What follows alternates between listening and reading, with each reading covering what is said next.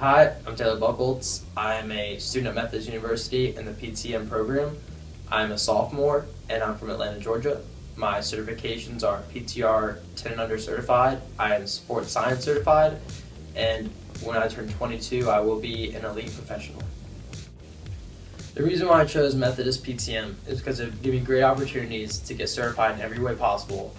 And in the tennis industry, it's very hard to build connections, and this was an easy way to earn those connections through internship opportunities. The internship I just recently did was Sea Colony Tennis Resort up in Bethany Beach, Delaware. I was a seasonal pro that helped do maintain tennis courts for the clay. I helped behind the desk a little bit, and I also did stringing, as long as as well as private lessons and group lessons. And I would highly recommend someone who wants to be a coach or director or anything in the tennis industry to Methodist PTM because it definitely helps you get certified every way possible, whether it be stringing, knowing what to do behind the desk, or just knowing how to talk to people.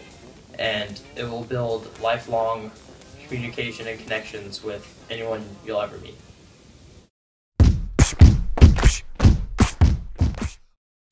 A couple of fun facts about me is my favorite TV show is Community. My favorite band is Fall Out Boy.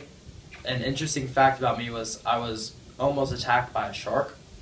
And if I could choose one famous tennis player for a day, it would be Dr. Douglas because he has done everything in the tennis industry and he has a cool job of being the past president of USPTA as well as being the director of the MU PTA program.